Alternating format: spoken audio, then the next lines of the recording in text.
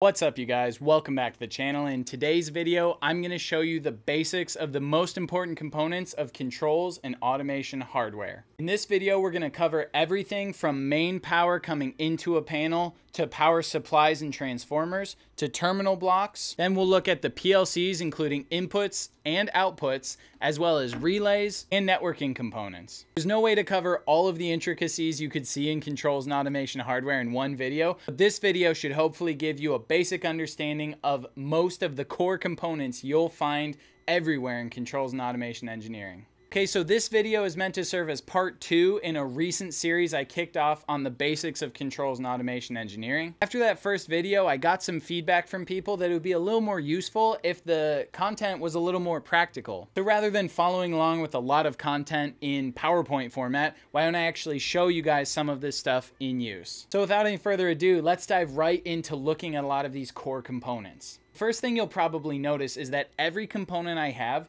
is mounted to this specific bent piece of metal that's called DIN rail.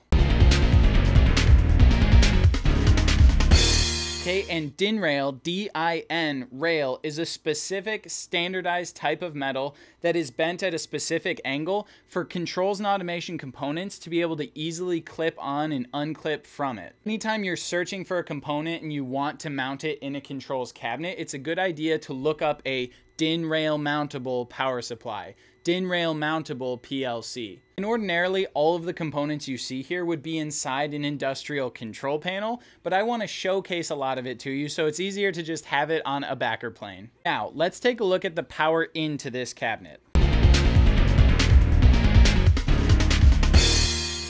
I have it on this specific small piece of DIN rail just so that I could zip tie it for some cable management. But basically, I take a 120 volt power into the cabinet. If you have larger components like motor starters that might require three phase power, like 480 volts, you'd need something a little heavier duty than what I have. But since I'm just dealing with 120 voltage or household outlet voltage, it's okay to just have it come in and land on our next components. Which brings us to the next component, which is the circuit circuit breaker. Circuit breaker, which can sometimes be replaced with a fuse, is meant to be your panel's local protection against overcurrent. There's a lot more than we can cover in this video on properly protecting all of your components from short circuits, but you should definitely be aware that basically every industrial control cabinet is either going to have circuit breakers or fuse terminal blocks for the main power coming into your enclosure. Next component you see here is the 24 volt DC power supply. This is a really critical component because in modern industrial controls and automation, you see less and less stuff getting powered off of AC voltage. Low voltage is inherently safer, so dealing with DC is safer than dealing with AC in almost every application. And since the industry is moving towards DC voltage applications, you need a power supply that can step down AC to DC. Next, hopefully you see these wires coming out of the power supply, and I have them landing on these blocks here, which are distributing the power to multiple zones. These are called terminal blocks. I have a whole bunch of spares over here. And what you can kind of see is that there's ordinarily plain gray or white or black, like a plain color, and those are just meant to be somewhere that you can land wires on one side and a partner wire on the other side of the same terminal block. You can think of them like industrially rated wire nuts. It's a spot where two different wires, or sometimes more than two wires, meet up, and it's best used for organization and keeping your cables manageable. It also can let you land inputs and outputs from a PLC on terminal strips in your panel, and then you have somewhere to land the wires that come from the actual devices in the field. So terminal blocks are super important. Green ones ordinarily correspond with a ground wire. Some variations on these, you can find some that you lift up and they have a fuse in them. These are known as fusible terminal blocks, which offer you an additional level of built-in overcurrent protection. You can also find two-tier terminal blocks, which have two completely independent circuits that you can use. These are great for very dense panels. And a lot of the times you can find terminal blocks with three or four multi-connections. These are really great for things like power disbursement or anywhere that you need one signal in a lot of places. Okay, the next thing we're gonna zero in on real quick here are relays.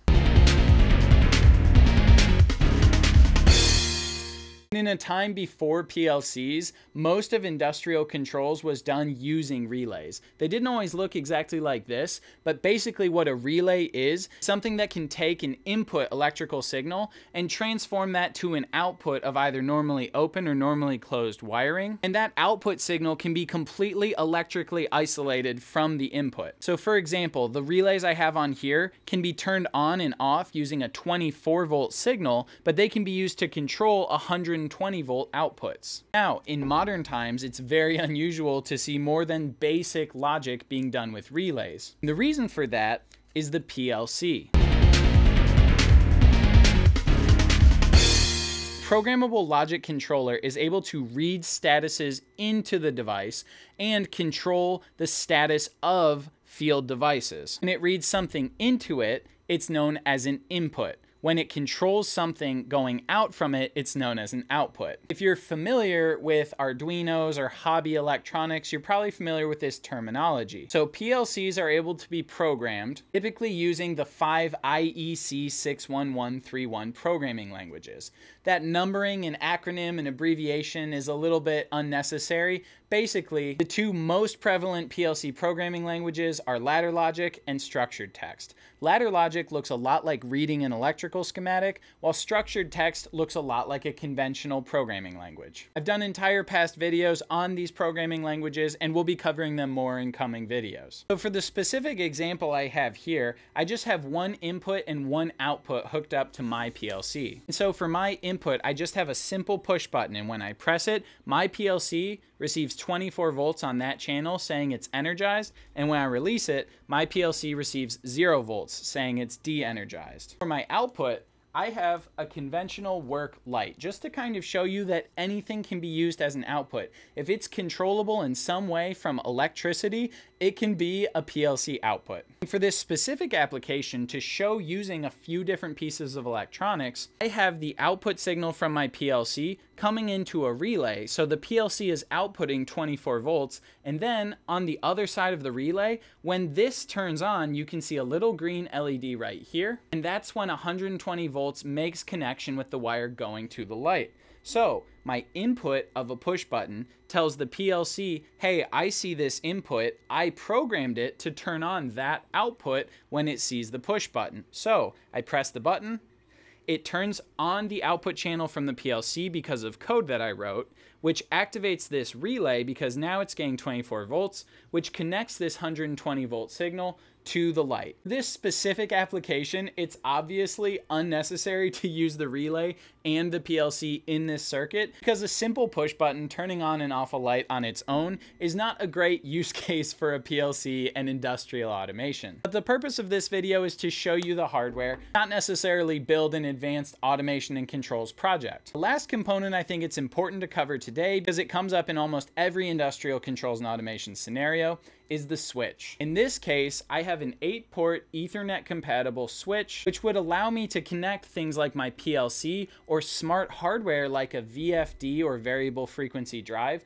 or any other networked components back to a master controller or my main laptop, which could be reading statuses from them, storing data in SQL, displaying values on an HMI, and things like that. Now, some of the most important components that we're not covering in this video are things like motor starters, VFDs or variable frequency drives, and HMIs or human machine interfaces, which for the programmers out there can be thought of as the GUI or graphical user interface, specifically for industrial controls and automation. But to speed recap what you've seen here, we've seen the main power supply come into a panel, which passes through a circuit breaker for overload protection, then goes into a 24 volt power supply, which then goes into terminal blocks for my power distribution, and then that powers my PLC. It also powers things like my relay, my switch, and it can be spread out using terminal blocks everything is mounted on DIN rail. When you need to convert signals from one type of voltage to another, you need to look for relays.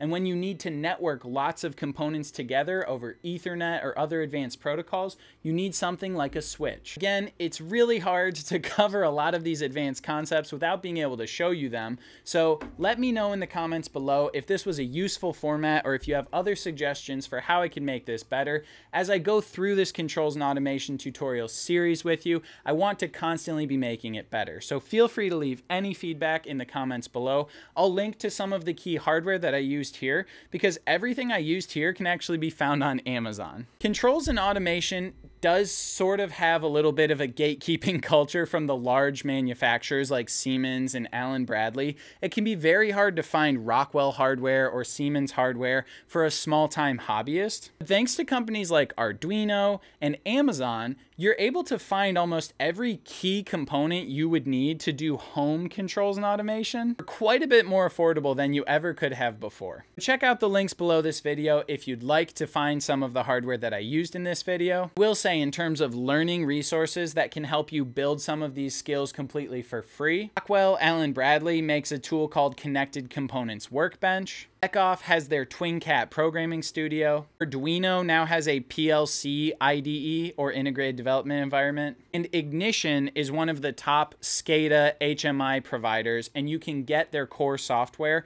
for free to use on your home laptop or desktop. It's definitely not quite as maker friendly as like the Arduino hobby electronics industry or quite as collaborative as the Stack Overflow GitHub world of Python C Sharp programming. But my hope is that automation and controls can become more accessible and you guys can help be part of that. All right, so that is going to do it for today's video. Don't forget to leave a like if you enjoyed it. Subscribe to the channel for tons more great content. Let me know in the comments below what you'd like to see more of. Massive thank you as always to my Patreon supporters for making these bigger projects possible. As always, good luck with your projects. Thanks for watching. We'll see you next time. Bye.